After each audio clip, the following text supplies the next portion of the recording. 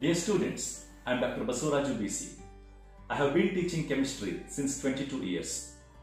Those of you who love to become doctors are writing NEET exam on 26th July 2020. There are only 50 days in front of you.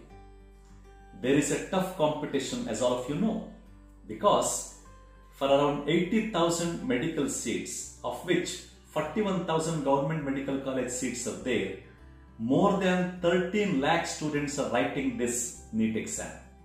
So, you definitely need a concrete and planned approach to crack this NEET exam.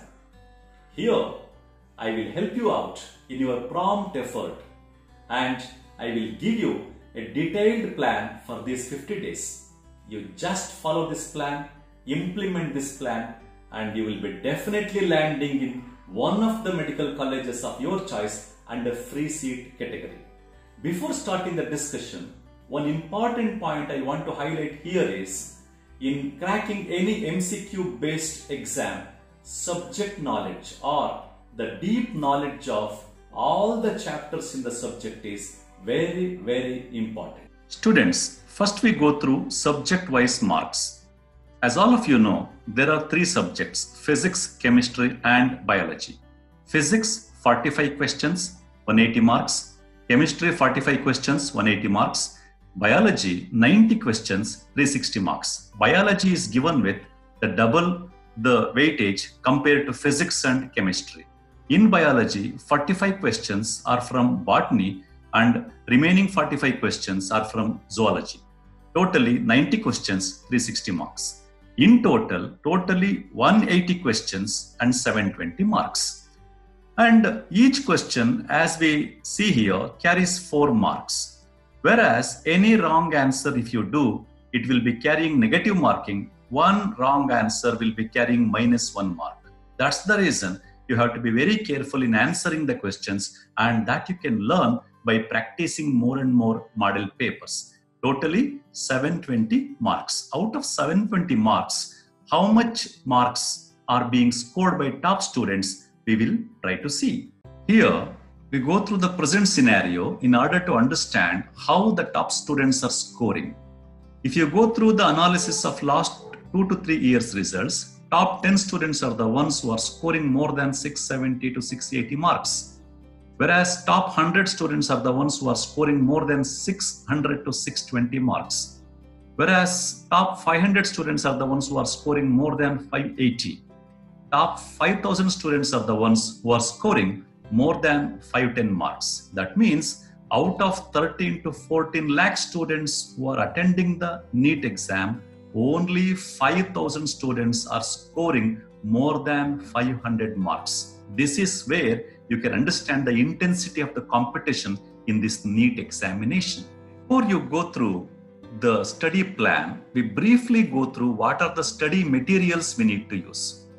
Without any other choice, the most important books we have to refer is NCERT textbooks for physics, chemistry, and biology without miss. No other textbooks. Then, for the NEET MCQs, go for any popular NEET study material available or any other NEET material which is being given by institutes where you are studying or the coaching centers where you are studying. And go for model NEET papers which are available in the internet as well as in the book form and also go for old NEET examination papers that is very much essential for you to get a sense of the questions which are being asked in the real NEET examination. So, students, your aim should be to get more than 650 marks in the NEET exam or at least more than 500 marks in the upcoming NEET exam because if you are scoring more than 500 marks in the upcoming NEET exam, you will be able to be landing in one of the government medical colleges with government seat, a free seat. Now, first we go through the timetable. Here, I'll just go through the timetable. Then, in the next slide, I will be discussing with you the details of the timetable subject wise. The first biology 5:30 to 6:30 in the morning, 7 to 9, 7.45 to 8.45 in the evening, 9.15 to 11 p.m. in the evening. Totally five and a half hours. That is five hours, 30 minutes. Chemistry, 10 to 12 o'clock and 12.15 to 2.15. Physics, 2.45 to 3.45, 4.15 to 6.15, 6.45 to 7.45. So chemistry 4 hours, physics 4 hours, biology 5 and a half hours. And break time is 5 to 5.30 in the morning. You have to get up at 5 o'clock, 5 to 5.30 get fresh up and 5.20 to 5.30 do meditation. Just concentrate, close your eyes, sit straight and concentrate on your breath. So this meditation will increase your concentration. It also improves your mind power. Then 6.30 to 7, again one more break. There you go for a small walk and a light exercise. Thereby the blood circulation, the brain also will be improved. That will activate your brain. Then 9 to 10 is the break time for your breakfast and uh, the bathing, etc. Then 12 to 12:15, one more break. There for 15 minutes, you can relax, relax in the way you want. You can sleep, or you can lay down, or you can listen to music, etc. Then 2:15 to 2:45 lunch break. Then 3:45 to 4:15 have a small sleep. Thereby you get freshen up again. Then 6:15 to 6:45 you have one more break of 30 minutes. You can go for a small walk and get freshed up. And 8:45 to 9:15 you have the break for dinner. So this is the brief timetable within which you can change the timing. Suppose if you are comfortable reading physics in the morning, you can go for physics in the morning time. You are comfortable reading biology in the afternoon, you can go for biology in the afternoon, afternoon and so on. In this way, you can slightly change this timetable. And anyway, overall, because biology carries more weightage, biology 5 hours 30 minutes, chemistry 4 hours, physics 4 hours, totally it is 13 and a half hours a day see how we can utilize the time for biology. You see here, revision 35 minutes, new chapter 2 hours, MCQs 3 hours. So revision means, as I told you in the beginning itself, in any competitive examination based on MCQs, the subject knowledge is very, very important. Every chapter in each subject, you have to have a thorough understanding. Otherwise, you will be miserably failed in the examination, even though you practice, you solve more than 10,000 MCQs in each subject. If you are not having the proper chapter or the subject knowledge, you will not be able to do well in the NEET examination. That's the reason the subject knowledge is very, very important. That's why a revision time is being given. Suppose imagine you read one chapter today or revise one chapter today, the next day revise the same chapter for 20 minutes. Then the third day, you revise the for 20 minutes, first chapter for 10 minutes. Then on the fourth day, you revise the third chapter for 20 minutes, second chapter for 10 minutes, and the first chapter for 5 minutes. Totally 35 minutes for revision every day. So when you do the revision, that do this kind of frequent revision, you can remember everything, whatever you read. So the first day, if you take, take a new chapter, you start with any of the chapter which you are comfortable with. It's always better to start with the first PU chapter. Take the chapter, read it for two hours with proper understanding, revise it because most of you have prepared well for your board examination. Therefore, you remember most of the things whatever you prepared for your 12th examination and only the first few chapters you have to work more so read the chapter for two hours and note down the key points in a notebook and revise it properly after reading the entire chapter.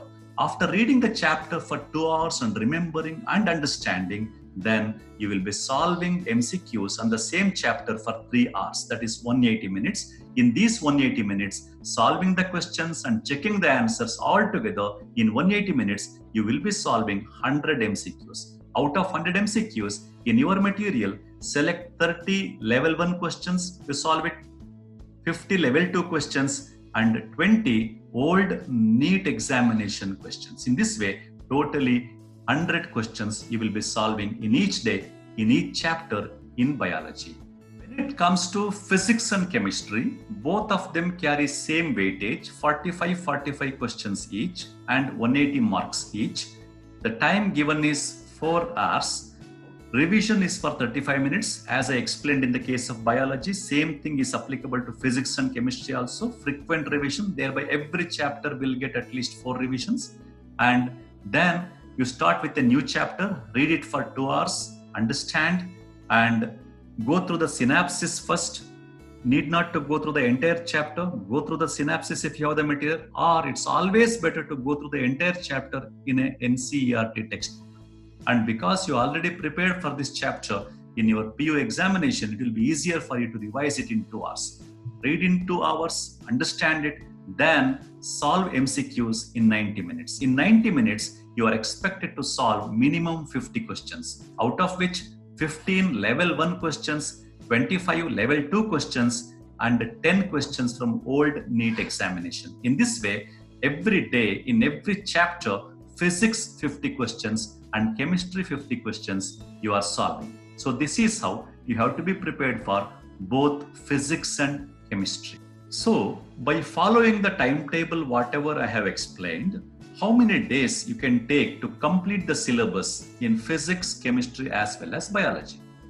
So in physics, first and second PU together, 11th and 12th standard together, there are 30 chapters, chemistry also 30 chapters, and biology, there are totally 38 chapters. Therefore, a chapter a day, you will be taking 30 days to complete physics, chemistry 30 days you are taking, and biology 38 days, and two more extra days if you take also, it will be 40 days. And in these 30 and 40 days, how many questions you will be solving? Physics in 30 days, each day 50 questions, totally 1500 MCQs chemistry 1500 mcqs whereas biology you are taking 40 days to complete the entire syllabus each day 100 questions. Therefore in biology you will be solving 4000 questions at the end of 40th day whereas physics and chemistry at the end of 30th day each you will be solving 1500 questions each. After 30 days you will be having 10 more days to complete the syllabus of biology but physics and chemistry, you are completing in 30 days itself. Once all the chapters are being completed, you have 10 and 10 days for chemistry and physics each, 10 days for physics and chemistry each. In those 10 days, what you can do is so physics and chemistry, every day you take three chapters, all the chapters are already completed. Each day you take three chapters, 10 minutes each, you revise the chapter then you will be left out with 3 hours 30 minutes. In those 3 hours 30 minutes, each chapter, again you solve 50 plus 50 plus 50 questions, totally 150. Similarly, in the case of chemistry also, every day you will be solving 150 MCQs. So, um, at the end of 40th day, total number of MCQs in these 10 days, you are solving 1500 questions from each chemistry and physics. Physics and chemistry, you are solving totally 3000 questions. After 40 days, you are completing the syllabus of biology. You are completing the syllabus of physics and chemistry. In biology, at the end of 40th day, you will be having completion of 40,000 MCQs answering along with frequent revision of all the chapters.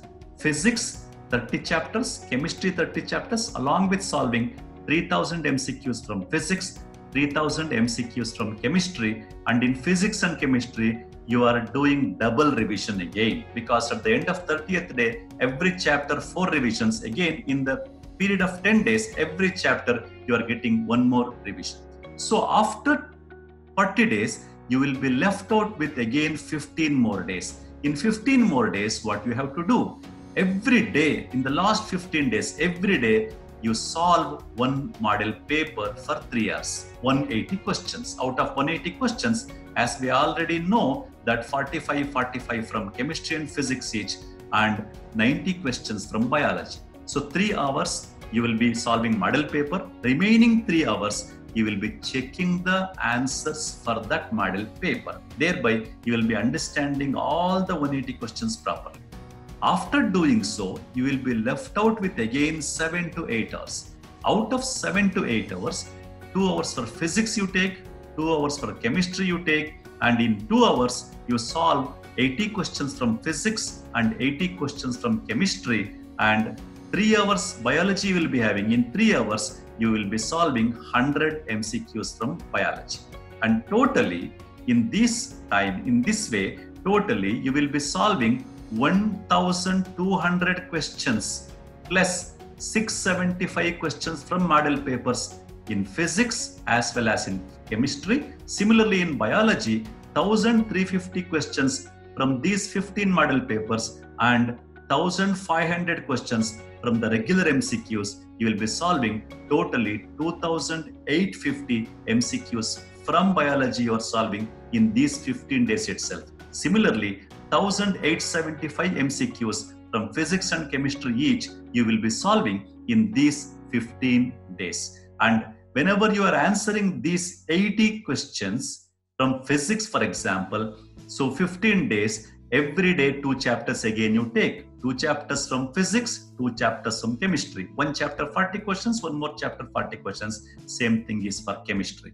Whereas in biology, every day you take again two chapters, some days three chapters. Whenever you take two chapters, 50 plus 50 questions from each chapter. Whenever you take three chapters, 30, 30 plus 40 you can take. In this way, last 15 days, model paper answering and extra questions answering from your study material you can do. Thereby, you can solve these many questions in the last 15 days. So, at the end of 55 days, actually, from June 1st, if you calculate, it is 55 days you are having till July 25th. How many questions you are solving from each subject? Total questions you are solving from physics 4200, chemistry 4200, and biology 5500. Out of these 4200 questions, 60, 675 questions from physics are from model papers. Similarly, 675 questions are from model papers for chemistry and 1350 number of questions are from model papers for biology. And the world NEET examination questions, around 900 questions are from physics, around 900 questions are from chemistry, and around 1200 questions are from biology. So, what you are doing, you are solving considerable number of world NEET examination questions from all the three subjects and you are also answering considerable number of model paper questions along with answering thousands of regular MCQs. This is how you are getting a proper practice of answering too many questions, too many variety of the questions. Along with this, what you have to do is you have to concentrate or consider one important point that many a times it's very important many a times in the NEET examination, what happens is many students do well in biology. Many students do well in biology, whereas they fail to score well in physics and chemistry. Therefore, you have to give importance to this point also. Because in the entire timetable, because biology carries more number of questions, more weightage, I have given more time to biology, and you're also solving more MCQs in biology. That's okay. But at the same time, physics and chemistry, every chapter you have to have a proper understanding. That's the reason in this timetable I have given preference to the multiple revision of the chapters. So that's very important. Wherever you find you're a bit weak in some chapters of chemistry or some chapters of physics, definitely make some alternative arrangement within the timetable and give some more time to physics and chemistry wherever you need to do so. And another most important point here is with this practice with these many questions, with this kind of revision, I assure you that definitely you will be able to score more than 500 in the coming NEET exam.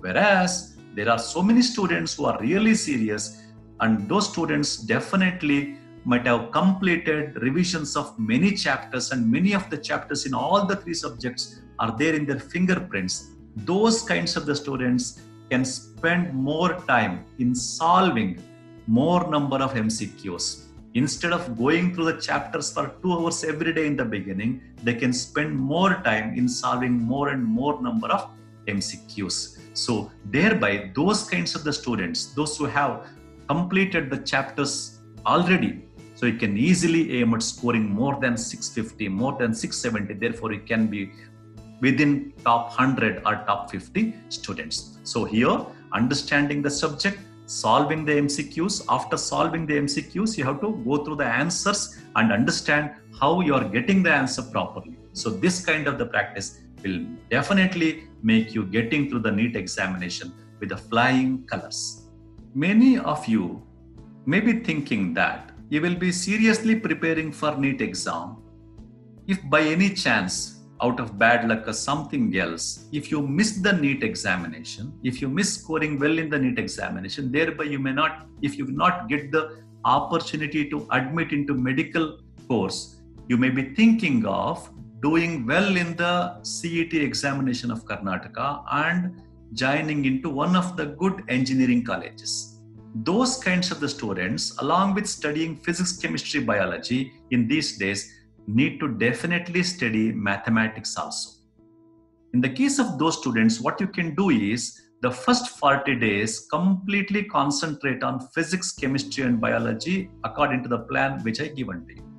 And in the last 15 days, what you do is answer the model NEET paper for three hours, remaining three hours solve it. Afterwards, you will be left out with 7 to 8 hours. And these 7 to 8 hours you completely use it for mathematics only. Same way revision 2 hours chapter going through the chapter noting down the key points and remaining one and a half hours solving the questions mcqs from cet book. Not from NEET book. NEET book is not there for mathematics anyway.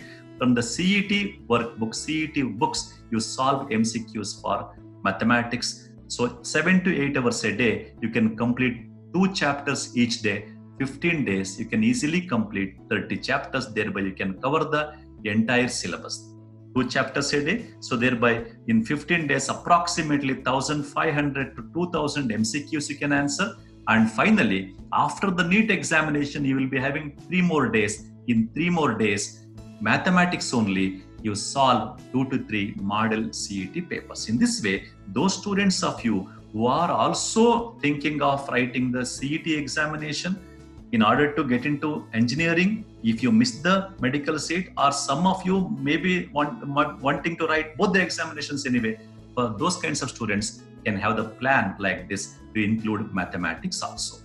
So, dear students, you've gone through the entire plan this kind of the planned work will make you revise all the chapters in each subject frequently.